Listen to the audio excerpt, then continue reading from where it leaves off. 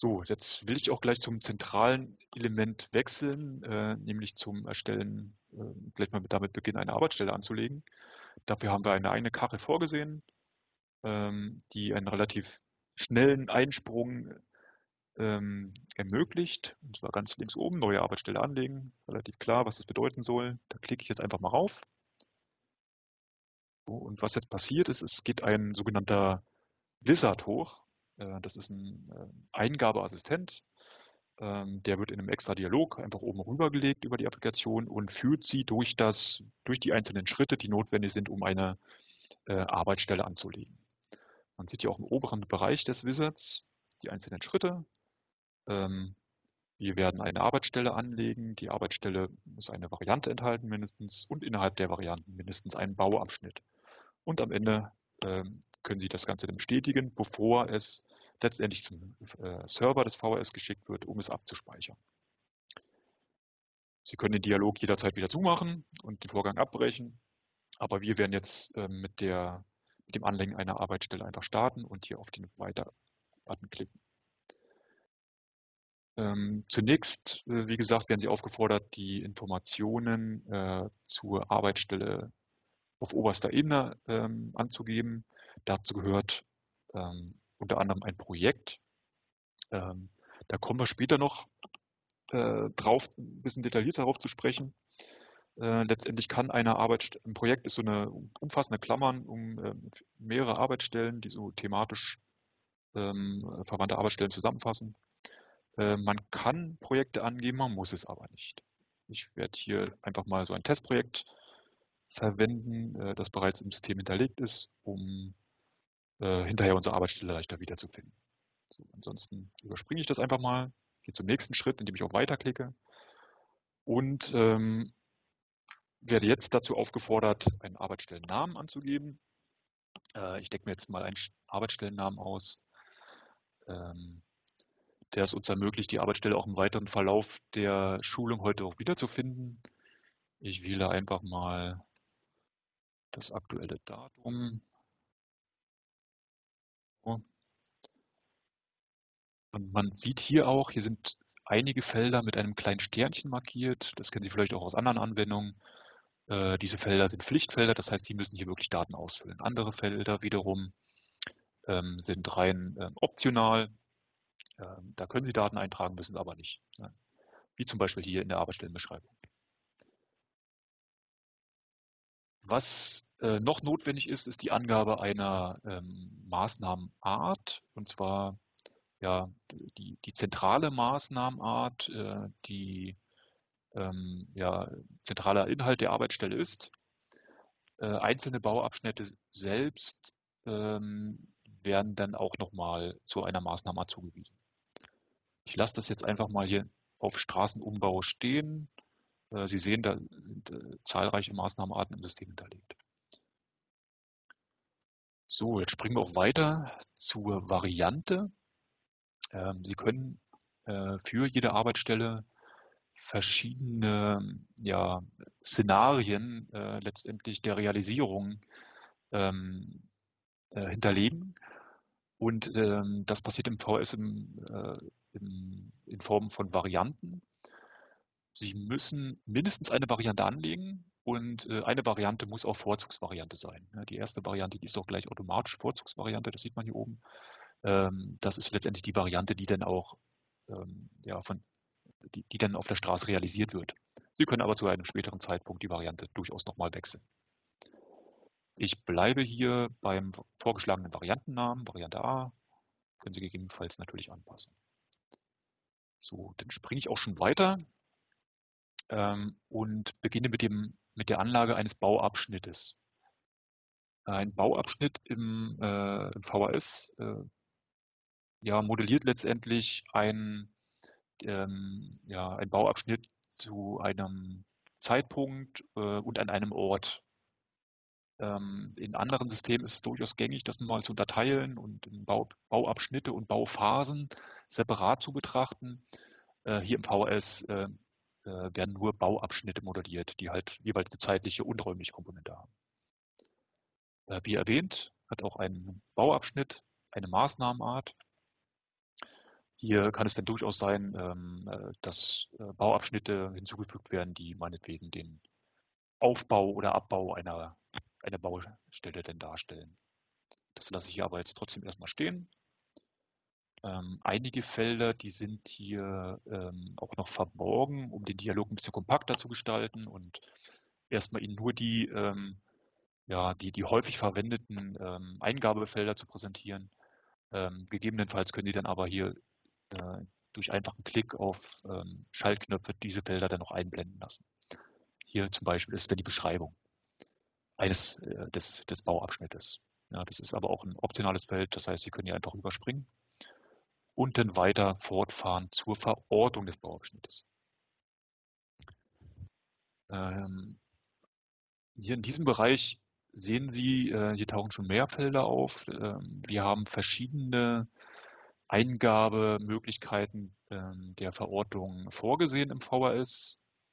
Äh, Sie sehen hier oben so drei, drei Tabs, ja, drei, drei Register, äh, wo Sie hin und her schalten können.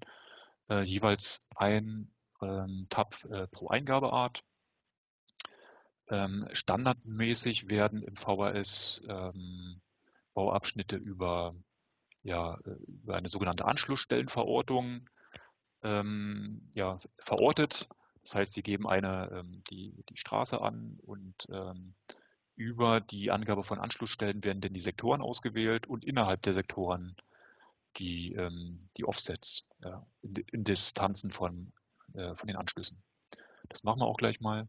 Alternativ dazu können Sie aber auch direkt äh, ASB-Sektorkennung äh, angeben und äh, die Stationierung darauf. Oder aber auch, äh, vielfachen Wunsch, haben wir das noch ähm, mit einfließen lassen ins VS, äh, eine Verortung über Betriebskilometer durchführen. Ich mache das jetzt hier aber mal über die Anschlussstellenverortung. Ähm, ein Beispiel, zum Beispiel auf der A4 äh, von Düren nach Merzenich.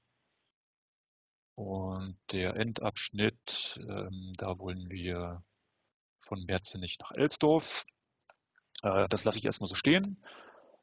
Äh, durch Drücken auf diesen Schaltknopf hier unten, suchen, wird dann der eigentliche, äh, wird die Verortung herausgesucht. Und Sie sehen dann auf der rechten Seite, da äh, geht dann ein kleines Kartenfenster auf, um sich einen Eindruck zu verschaffen, wo denn wirklich auf der Straße äh, dann äh, der Bauabschnitt liegt. Ähm, zusätzliche Informationen sind äh, ist die Angabe der, der Länge des Bauabschnittes ähm, sowie das Fernziel, um äh, leichter erfassen zu können, ja, in welche Richtung denn äh, der Bauabschnitt hier verortet worden ist. Man sieht, hier ist relativ lang. Ich werde hier nochmal nicht gleich vom, vom Anfang des Sektors beginnen, sondern etwas später. Dazu direkt ähm, die entsprechenden Distanzen der Anschlussstellen relativ zu den Anschlussstellen an und wiederholen dann doch mal die Suche. Ja, man sieht hier in der Kartendarstellung wird es entsprechend angepasst und die Länge des Ab äh, ist entsprechend auch kürzer. Dabei möchte ich es hier erstmal belassen. Äh, wir haben anschließend immer noch die Möglichkeit, diese Parameter wieder zu verändern. Auch hier sehen wir, hier verstecken sich einige zusätzliche Felder ähm, und äh, die sich einblenden lassen können durch Klick auf den Button Optionale Felder einblenden. Hier in dem Fall äh, sind das ähm, gibt es hier die Möglichkeit, äh, gleich Anschlussstellen zu sperren oder als gesperrt zu markieren. Das lasse ich jetzt mal aus und führe, äh, gehe jetzt weiter in der Eingabe ähm, mit der Definition der Zeitdauer des Bauabschnittes. Sie sehen hier ähm, den äh, ja, oben Beginn und unten Ende ähm, der Zeit. Ähm, ich möchte diese Arbeitsstelle jetzt mal im Jahre 2021 stattfinden lassen. Dafür haben wir hier so einen ähm, ja, Datumsdialog vorgesehen, wo Sie auch relativ komfortabel dann auch zwischen den Jahren springen können. Ähm, da müssen Sie dann einfach mal ein bisschen, bisschen mitspielen, um da ähm, äh, sich an die verschiedenen Eingabemöglichkeiten hier zu gewöhnen. So, ich wollte jetzt vom 15. Mai eine Arbeitsstelle beginnen lassen. den Bauabschnitt beginnen lassen, 7 Uhr. Das lasse ich einfach mal so stehen. Und die soll gehen bis zum ähm, 14. Juni. So, das lasse ich hier auch stehen. Ähm, was Sie hier noch beachten sollten, ist, dass eine volle Stunde ähm, immer angegeben wird durch ähm, eine, eine Null beim Beginn, das heißt 7.00, damit beginnt die, die Stunde zwischen 7 und 8 Uhr und sie endet ähm, äh, mit der äh, 59. Das heißt 59 bedeutet, die äh, letzte Minute der Stunde ist hier inklusive gemeint. Ja, das ist durchaus in anderen Systemen teilweise anders. Äh, da muss man ans Ende dann äh, doch die volle Stunde angeben. Im VHS ist es so, dass 59 das Ende der Stunde bedeutet. So, Sie sehen hier auch äh, nochmals zusammenfassend die Dauer der Arbeitsstelle, die sich dann halt direkt aus diesen Daten ableitet. So. Sie haben hier auch noch die Möglichkeit, äh, gleich ähm, Ausschlusszeiten zu definieren. Das heißt, wenn Sie wünschen oder wenn Sie, angeben wollen, dass äh, der Bauabschnitt zwar in diesem Zeitbereich stattfindet, aber äh, durchaus zwischendurch zurückgebaut wird und äh, keine verkehrlichen Beeinträchtigungen stattfinden, zum Beispiel zu Berufsverkehrszeiten, ähm, haben Sie hier die Möglichkeit, direkt Anschluss, äh, Ausschlusszeiten anzugeben, als auch umgekehrt ähm, Bauzeiten, das heißt die Bereiche, in denen äh, ausschließlich die Arbeiten stattfinden. Das möchte ich hier ganz kurz zeigen, äh, welche Möglichkeiten hier bestehen, aber ich werde diesen anschließend wieder auslöschen, um die Arbeitsstelle nicht gleich zu komplex äh, zu gestalten.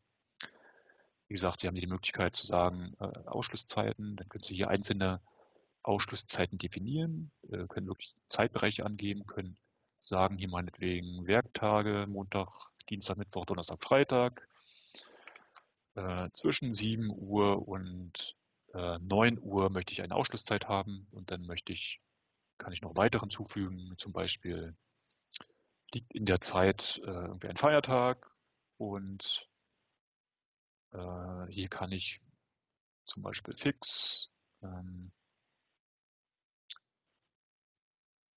am 29. Mai, ohne dass ich jetzt konkret weiß, ob das ein Feiertag ist, ähm, bis, zum 30.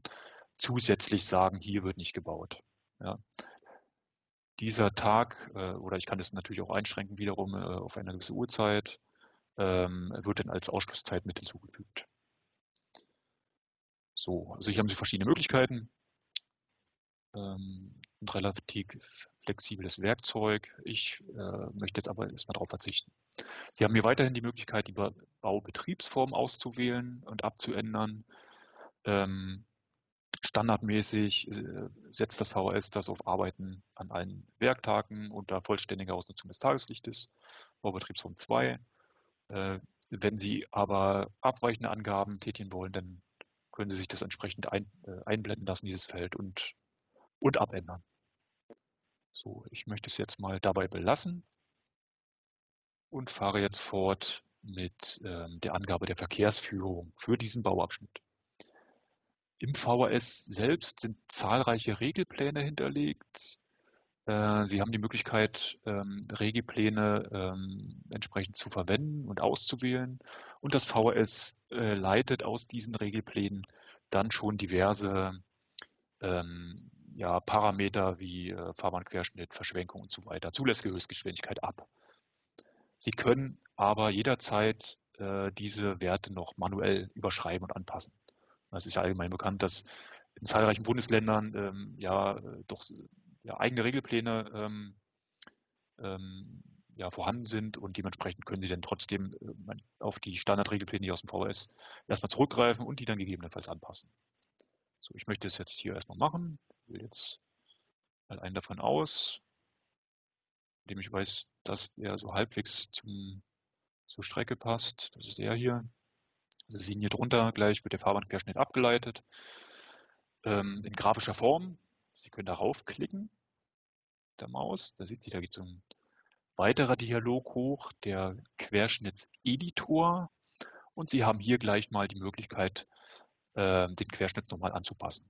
Das ist ein äh, schönes Werkzeug. Sie können ja auch grafisch ähm, den Querschnitt editieren. Hier haben wir oben eine Werkzeugleiste. Hier können Sie zum Beispiel eine äh, Spur sperren, indem Sie hier dieses ähm, rote Kreuz nach unten ziehen und dann anschließend ähm, durch Klick auf, diesem, auf die Fahrspuren, die äh, Fahrstreifen, die unten äh, aktuell aktiv sind, können Sie das dann auch entfernen. Da gibt es dann eine Mülltonne Tonne und Klick auf Mülltonne bedeutet naheliegenderweise dann entfernen.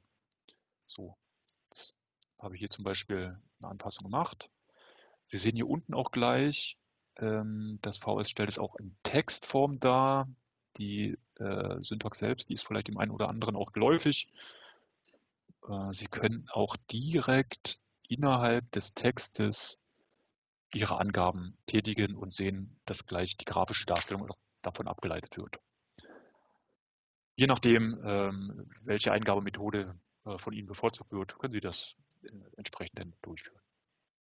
Ich möchte das aber einfach mal jetzt dabei belassen und sage jetzt abbrechen. Das heißt, die Änderungen werden jetzt nicht übernommen. Ähm, abgeleitet aus dem Fahrbahnquerschnitt äh, bietet das VS dann auch äh, mögliche Verkehrsführung an. Ähm, diese sind ja teilweise nicht eindeutig.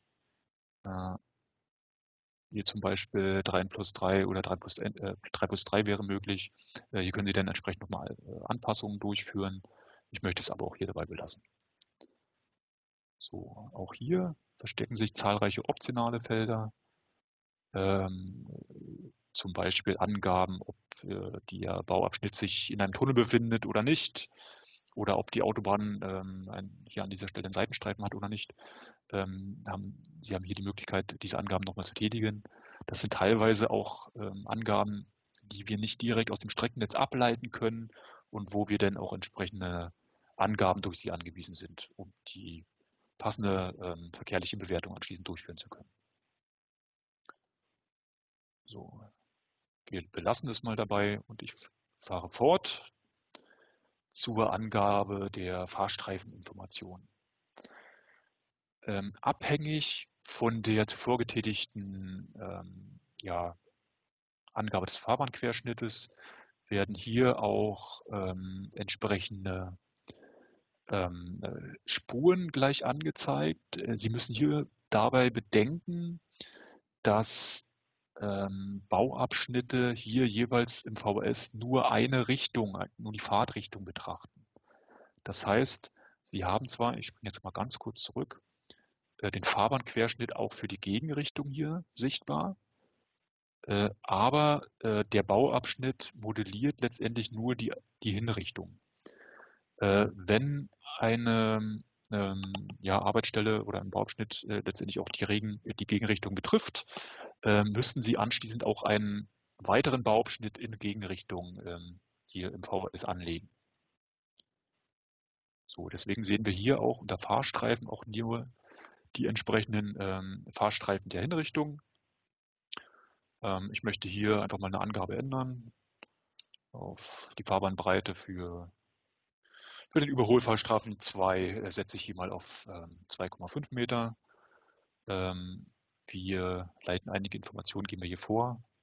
Äh, die müssen Sie dann gegebenenfalls noch anpassen. Ja. Ebenso zulässige Höchstgeschwindigkeiten ohne Baustelle als auch mit Baustelle. Also mit Baustelle, das äh, wird auch aus dem Regelplan initial abgeleitet, kann dann natürlich noch angepasst werden.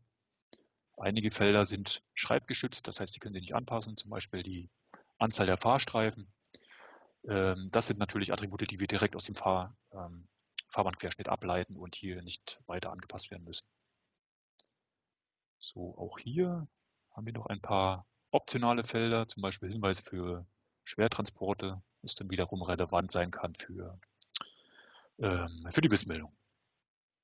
So, das war es auch schon mit diesem Bauabschnitt. Äh, ich springe jetzt weiter und hätte jetzt hier die Möglichkeit zu sagen, ähm, ähm, ja, ich möchte hier gleich einen, einen weiteren Bauabschnitt anlegen ähm, oder einen Bauabschnitt in Gegenrichtung, aber äh, ich möchte es hier erstmal dabei belassen und den Wizard beenden mit der Erstellung ähm, eines Bauabschnittes zusammen mit Variante und Arbeitsstelle.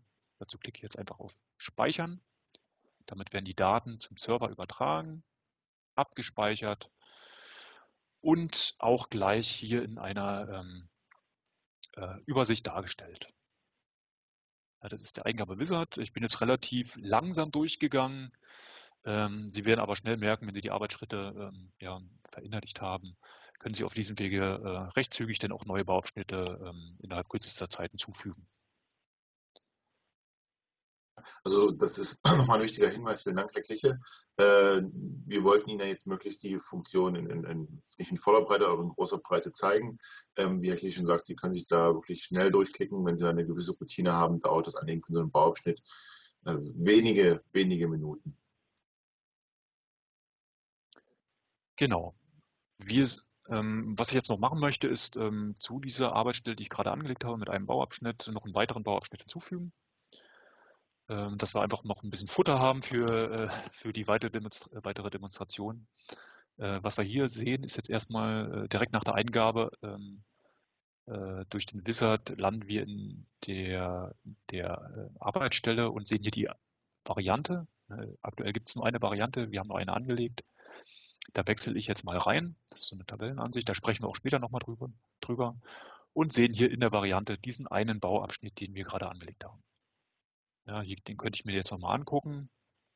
Durch Doppelklick kann hier einzelne Attribute noch verändern, wenn ich möchte. Ähm, an der Stelle möchte ich aber, äh, wie gesagt, ähm, den, einen weiteren Bauabschnitt hinzufügen.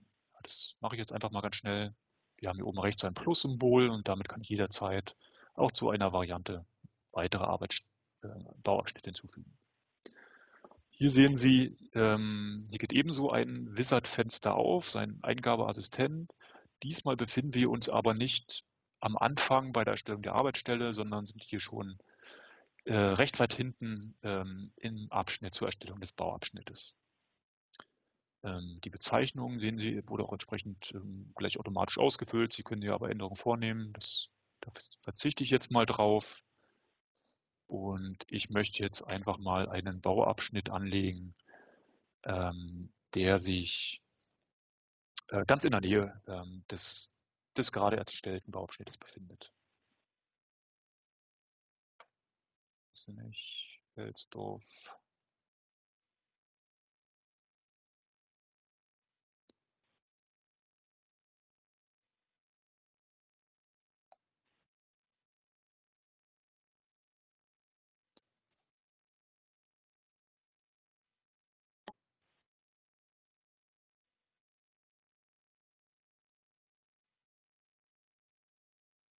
Und der Bauabschnitt äh, soll natürlich in einem ähnlichen Zeitbereich liegen. 2021 vom 15. Mai zum, äh, bis zum 14. Juni, hat mir gesagt. Ich lasse den mal um 8 Uhr anfangen. So, Regelplan. Ich will jetzt hier irgendwas anderes mal aus ohne hier groß auf die Details zu gehen, also fachlich, fachliche Korrektheit ähm, äh, müssen Sie hier an dieser Stelle jetzt nicht erwarten von mir. Hier geht es jetzt erstmal darum, überhaupt noch mehr Futter reinzukriegen. So, jetzt sehen Sie auch, äh, ich habe den Wizard relativ schnell abgeschlossen. Äh, der zweite Bauabschnitt wurde angelegt und erscheint jetzt auch hier äh, in der tabellarischen Ansicht.